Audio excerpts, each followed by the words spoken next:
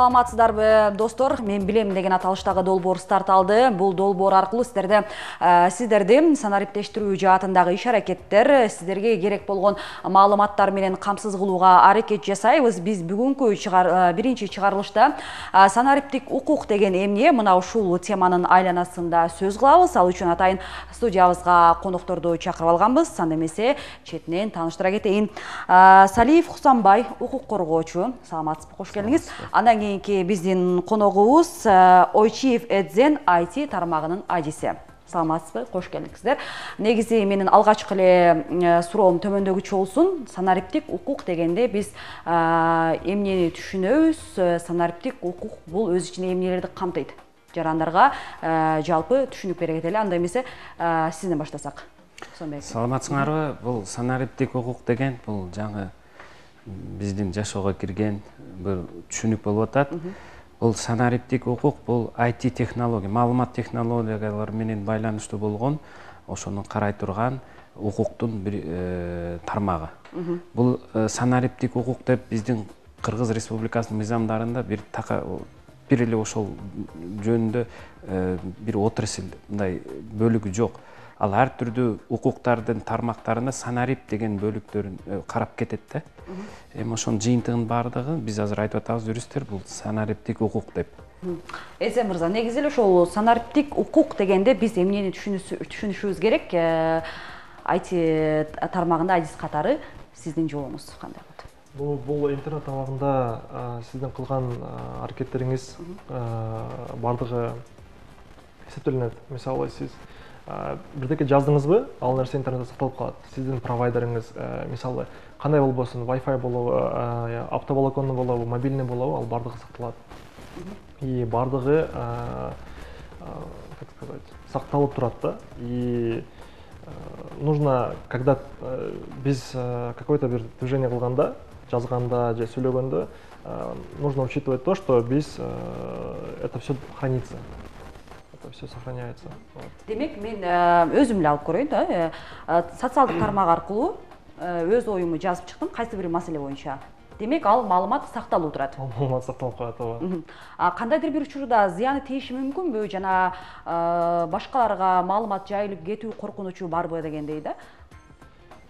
Мисалы сиздин же бул мыйзам ченемдүү эле көрүнүшпү мисалы сиздин жеке информацияңызбы жеке информацияңыз ооба есть вероятность того что бул нерсе жайылып кетиши мүмкүн мисалы тот же самый крупный IT компании которых вот социальный сеттер бар го баардык информация маалымат мисалы сиз ким менен сүйлөштүңүз кандай сүйлөштүңүз качан сүйлөштүңүз баардыгы сакталып турат эгерде аны карай турган болсок ал баардыгы чыгат как ловят этих же киберпреступников или же террористов, да, тем же самым способом, тем, что они пользуются интернетом и так далее. Вот ошол нерседен анын баардыгы байланышкан. Демек биздин укугубуз бузулду дегенге жатпайбы мындай жагдайда? Как сказать?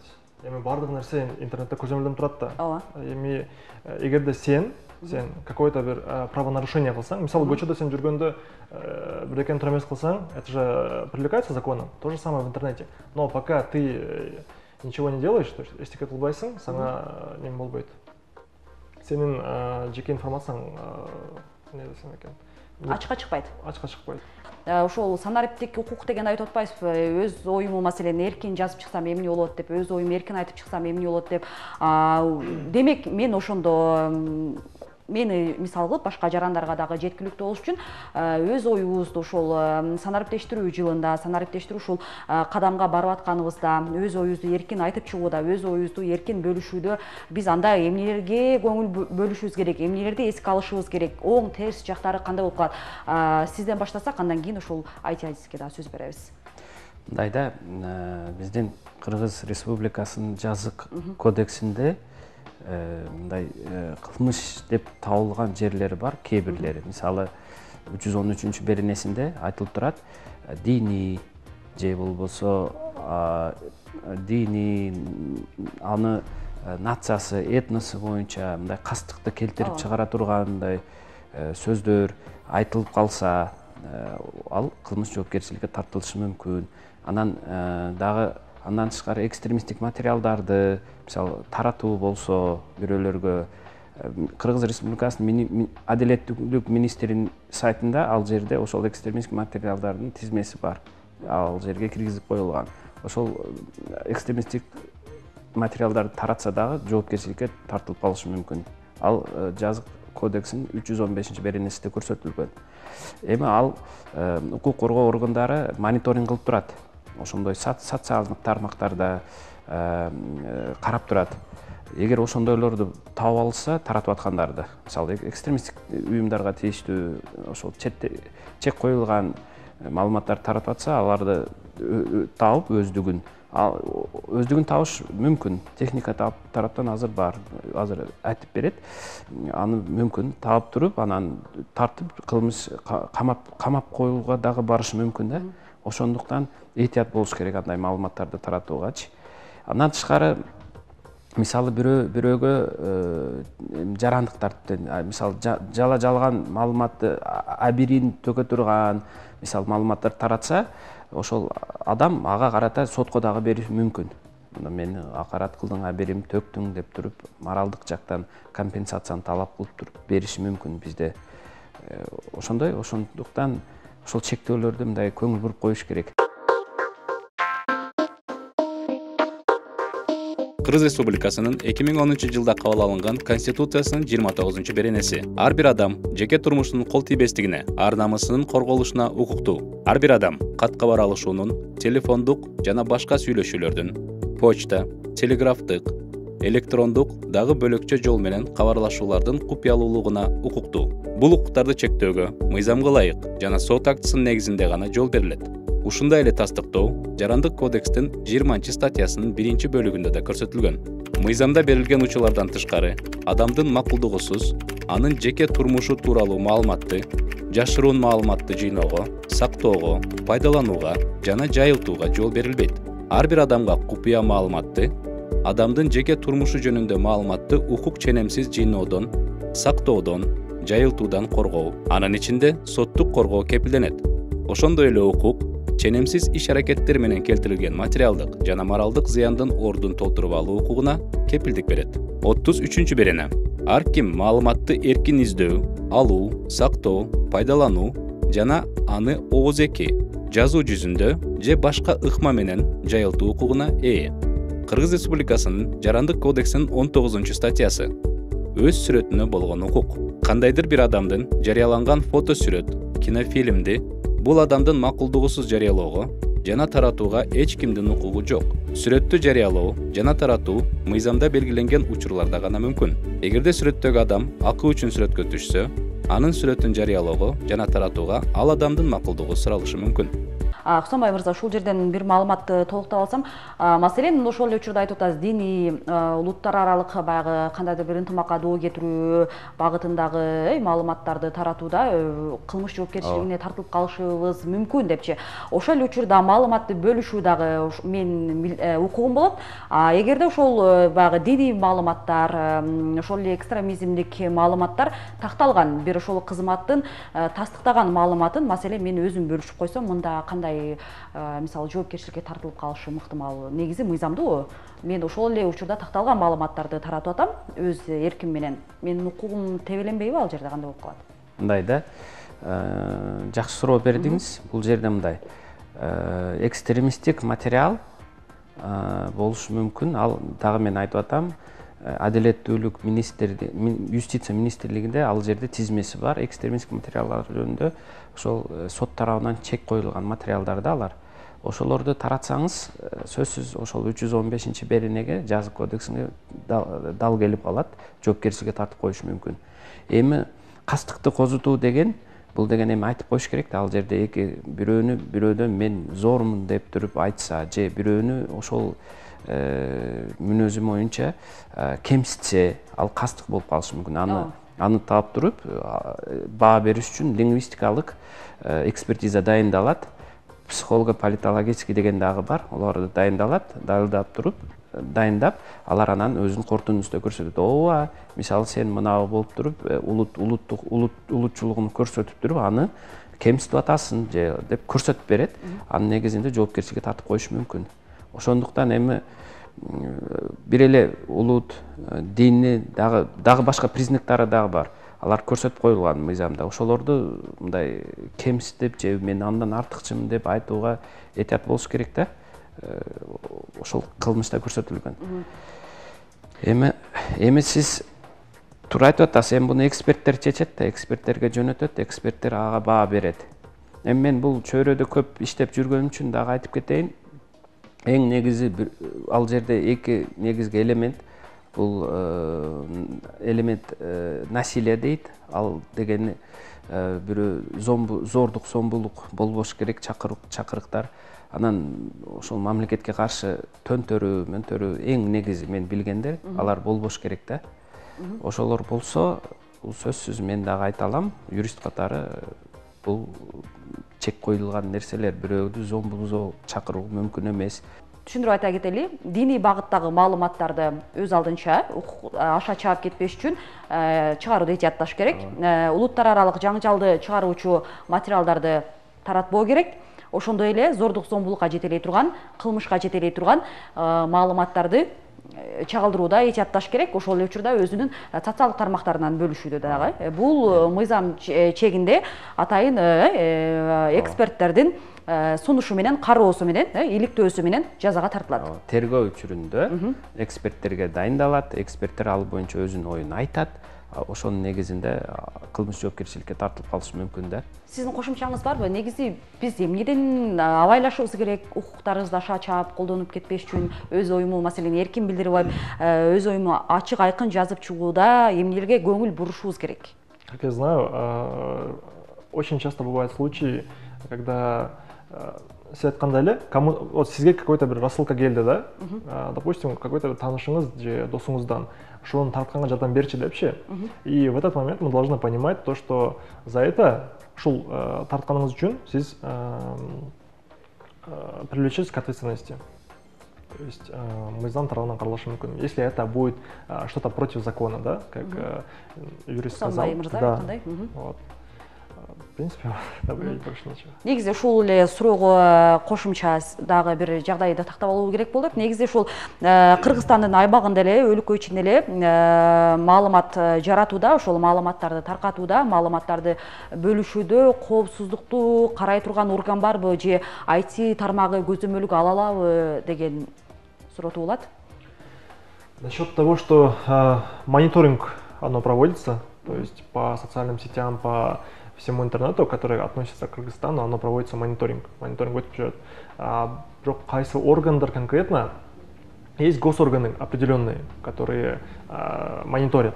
Но насчет IT именно IT специалисты анын ичинде бар ошол органдардын ичинде которые уже мониторят такие вещи демек кандайдыр бир окуяга тиешеси маалымат бар маалыматтарды экөөбүз маалымат алмашып атсак демек кызмат органдары аларды териштирүүгө иликтөөгө укугу бар.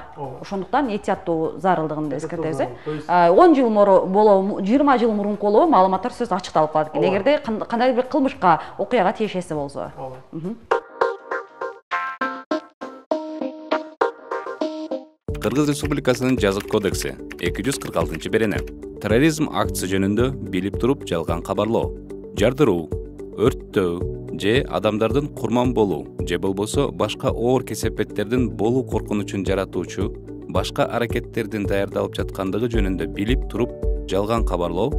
Төртүнчү категориядагы түзөтүү жумуштарына же бешинчи категориядагы айып салууга же биринчи категориядагы эки жыл алты айга чейин эркиндигинен ажыратууга жазаланат үч жүз он бешинчи берене экстремисттик материалдарды даярдоо таратуу биринчиси экстремисттик материалдарды даярдоо таратуу ташуу же берип жиберүү же болбосо жайылтуу максатында аларды сатып алуу же сактоо ошого тете экстремисттик уюмдардын символикасын жана атрибутикасын пайдалануу ошондой эле интернет тарамы аркылуу пайдалануу эки жылга чейинки мөөнөткө белгилүү бир кызмат ордун ээлөө же болбосо белгилүү бир иш менен алектенүү укугунан ажыратуу менен же ансыз экинчи категориядагы тагыраагы эки жыл алты айдан беш жылга чейин эркиндигинен ажыратууга жазаланат. Экинчиси төмөнкүдө жасалган ошол эле жоосундар адамдардын тобу же алдын ала сүйлөшүү боюнча адамдардын тобу тарабынан чет өлкөлүк коомдук бирикмелерден диний же болбосо башка уюмдардан же чет өлкөлүк жарандардан алынган каржылык же башка материалдык жардамдарды колдонуу менен үч жылга чейинки мөөнөткө белгилүү бир кызмат ордун ээлөө же болбосо белгилүү иш менен алектенүү укугунан ажыратуу менен же ансыз үчүнчү категориядагы беш жылдан жети жыл алты айга чейин эркиндигинен ажыратууга жазаланат.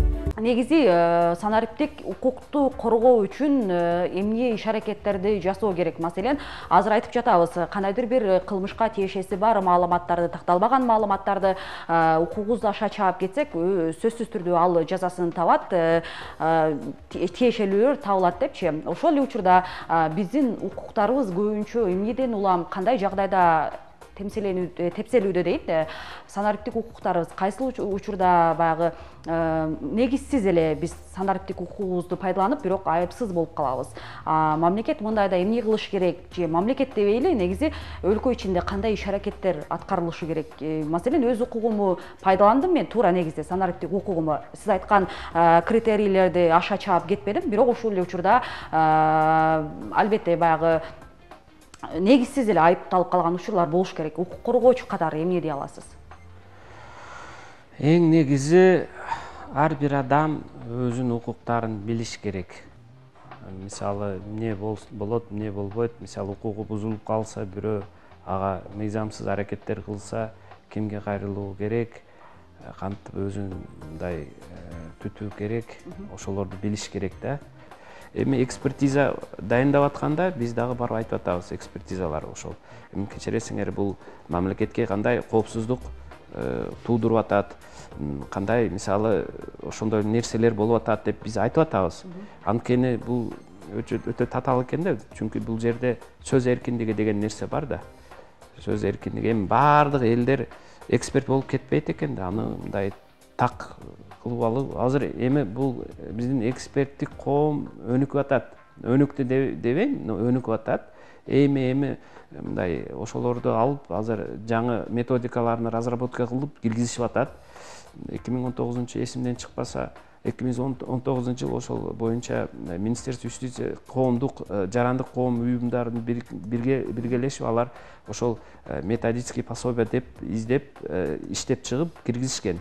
Ошол жерде жазылган кайсы эмнеге көңүл буруу деп ну кемчиликтер менин оюмча бар но баары бир киргизди аракет кылып атат экстремисттик э баягы өзүнчө уюмга тиешелүү болуп калышы мүмкүн деп атабыз мына ошол маалыматтарды айырмалап билүү үчүн э баягы коомго жарыялабаш үчүн кандайдыр бир жеткиликтүү кадамдарга барса болобу жарандар мына ушул маалыматтарды жарыялаганга болбойт деген өз кезегинде айтып атасыз укук коргоочулар дагы бул нерседен тайсалдап айрым учурда айырмалай албай калып атышат депчи ачыктык киргизүү керекпи жарандар маселени анда кантип билет бул мен жарыялаган маалыматым экстремисттик темага байланышлуу болуп калышы мүмкүн мен жазып чыккан материалым ошол экстремисттик уюмдарга тиешелүү болуп калышы мүмкүн мындай да бул мисалы ошол мен айтайын россияда мен бир өзүм карап кызыгып көрсөм россияда казакстанда мисалы өзбекстанда андай нерселер ошол бизге окшогон мыйзамдар бар экен мисалы ал жерде бирок административдүү түрдө жоопке тартат экен да кылмыш жоопкердикке эмес. Мен ойлойм ошол нерселерди секин секин кылмыштан биздеги дагы административге өткөрүп анткени бул канчалык деңгээлде коопсуздук мисалы ошол именно экстремисттик материал сактоо боюнча деген э, маалыматты таратуу сактоо таратуу максатында деген боюнча айтып атам.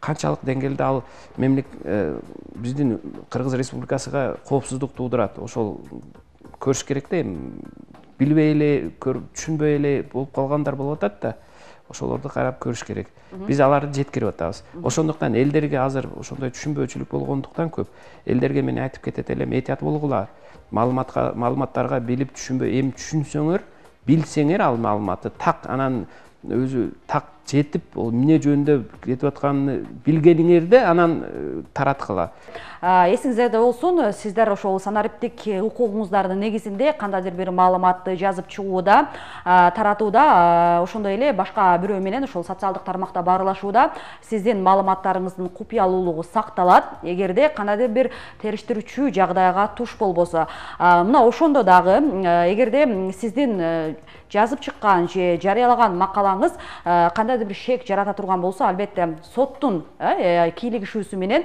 ал ачыкталышы мүмкүн тергелиши мүмкүн албетте мындайда биздин укук коргоочу хусанбай мырза айтып атат сөзсүз түрдө адвокаттарга юристтерге кайрылып баягы кеңеш алууга чакырат эдзен мырза айтсаңыз эми сиздин ошол тажрыйбаңызда деп коелу санариптик укукту аша чаап кетпей кетпөө боюнча кандай биз учурда аша чаап кетебиз кандай жагдайларда мыйзамсыз аракеттерге барабыз алдыда э, баягы жогоруда сөз кылып өттүк да. Эми биздин санариптик укугубуз көбүнчө кандай учурларда бузулуп жатат? Жарандар жарандар кандай э, ошол укуктарын э, билип алышы керек э? Деги эле ушул сиздин тажрыйбаңызды айтсаңыз көбүнчө кайсыл учурда жарандар өздөрүнүн укугун сактайт ошол эле учурда башка бирөөлөр тепселеп кетиши мүмкүн. Иш тажрыйбаңызда кандай болду эле кандай кайсы нерселерди жарандар эске алыш керек? Буга чейин эске алчу нерселерди тизмектедик да эми негизи жарандардын санариптик укугу одоно бузулган көрүнүштөр деле катталып жатат мына ошолорго токтоло кетсеңиз деп атам да тажрыйбамда өтө көп случаев было когда элдер приходят к нам и просят взломать какие-то социальные сети, какие-то переписки, какие-то вот такие вот конфиденциальные вещи, да, допустим.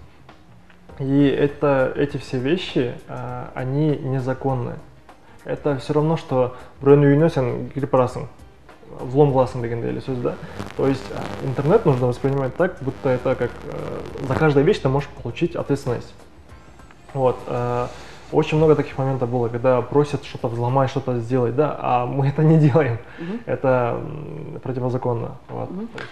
жогоруда айтып өттүңүз да негизи баягы маселен ошол айтып атасыз кандайдыр бир сайттарды бузуп кирүү боюнча абалдар мындай кайрылуулар болуп турат депчи мындайда маселен кандайдыр бир коопсуздук эрежелери барбы вы как владелец сайта, да, допустим, угу. владелец этого канала, вы должны обеспечить хотя бы базовую безопасность своего продукта, то есть угу. своего сайта или же своей странички. Это может быть все что угодно, допустим, социальные сети. Инстаграм, Фейсбук, WhatsApp. Ну, WhatsApp это мессенджер. Инстаграм и Фейсбук это самый главный же қолданып жүрген телеканалдар. Аларды эмне кылыш керек? пароль деген нәрсе бар да пароль и аутентификация деген нәрсе бар мысалы ә, facebook whatsappтарда азыр ә, двухэтапная аутентификация деген нәрсе бар бұл по телефону по ключевому слову ә, ә, ты можешь заходить допустим ә, ты можешь это ставить или же не ставить вот это социальных сетей ә, мысалы сіздің телефон номеріңізге ал байланышқан болады мысалы сіздің телефоныңыз номер ә, смс уведомление келеді ушунча кандайдыр бир ноутбуктан ушунчанча немеден кто то хочет войти депчи вот. Это касается социальных сетей. Нужно спросить у IT специалиста то есть кандайдыр бир безопасностьтарды көрүп берчи как можно взломать да? Или же коюп берчи базовой безопасности чтобы обычный вот простой человек не мог войти. Ну на любой сайт, на любой мессенджер можно войти, угу. можно об этом получить доступ, да, но все же нужно обезопасить хотя бы базовым, на базовом уровне. Угу. Вот. Сіздерге рахмат атайын убакыт бөлүп э, бизден ушул э, жарандарга пайдалуу болгон деги эле өзүбүзгө пайдалуу болгон маалыматтар менен э, бөлүшкөн үчүн деги эле санариптик укук эмне мына ушул теманын айланасында кызыктуу маек пайдалуу маек куруп бергениңер үчүн ыраазычылык билдиребиз урматтуу достор эске сала кетсек бизде бүгүн санариптик укук деген эмне деген теманын айланасында сөз кылдык ал үчүн бизде конокто айти тармагынын адиси айчиев эдзен мырза конокто болду ошондой эле укук коргоочу салиев кусанбаев мырза конокто болду сиздерге рахмат. Урматтуу достор биз эфирде жыйынтыктагандан алдын кыскача корутундага токтоло кетели негизи эле баардык жарандын санариптик укугу бар. Санариптик укук деген бул оюбузду эркин айтып чыгуу оюбузду эркин жарыялоо оюбузду эркин бөлүшүү. Ошол эле учурда эсиңиздерге сала кетели бул жагдайларда кылдат мамиле жасоого чакырабыз. Анткени оюбузду эркин жарыялоодо сиздин пикириңиз кандайдыр бир терс жагдайларга туш келип калышы мүмкүн. Маселен ошол эле учурда диний жагдай боюнча бөлүшкөн материалыңыз кылмышка териштирүүгө тиешеси бар болсо өз кезегинде жоопкерчиликке тартылып калуу ыктымалы бар. Ошол эле учурда санариптик укугуңуз тебелген учурлар катталуусу мүмкүн экендигин азыр айти тармагынын адиси айтып өттү. Кандай учурда? Маселен сиздин колдонгон социалдык тармагыңызды бузуп кирүү аркылуу башкалар сиздин укугуңузду тебелеп кирүүсү ыктымал мындайда албетте адистерге кайрылып өзүңүздүн ошол социалдык баракчаларыңызды коопсуздандырып алууңузду эскертип өтүштү. Мына ушуну менен биз бүгүнкү чыгарылышыбызды жыйынтыктайбыз.